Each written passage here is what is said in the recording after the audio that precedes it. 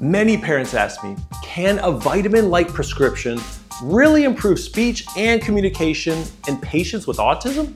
I'm Dr. David Danish, a double board certified psychiatrist specializing in autism in children, adolescents, and adults. Today, I want to talk more about folinic acid known as leucovorin. Leucovorin is a prescription strength form of vitamin B9.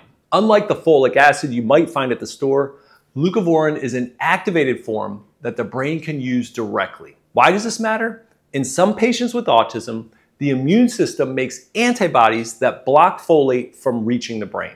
This is called a cerebral folate deficiency, and this can affect areas like speech, language development, mood, irritability levels, all aspects of brain function. But a blood test called the FRAT test can detect these antibodies and a positive result on that test makes leucovorin an especially strong option to consider.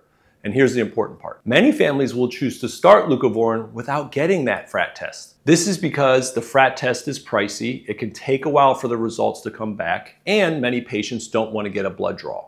Additionally, leucovorin is very well tolerated by most people, is relatively inexpensive, and can be started in just days. Now, regarding leucovorin, especially in those patients who do have this cerebral folate deficiency, there are so many trials in the United States, in France, in India that have found leucovorin can improve communication, behavior, and overall autism symptoms. The effect seems strongest in children with the folate receptor antibodies, but benefits have also been reported more broadly as well in older patients and in patients who don't have a positive result. Age over time does likely play a role in some ways. The developing brain is especially responsive to leucovorin interventions, but again, improvements have been seen in both younger children and in adults with autism. If you're exploring leucovorin as a potential treatment for autism symptoms or what is thought to be a cerebral folate deficiency. I've created a careful and clinically responsible way to access it regardless of what state you're in. Right now I'm licensed in 40 states and that's growing. Please head Philadelphia Integrative Psychiatry and I'll put the link in the description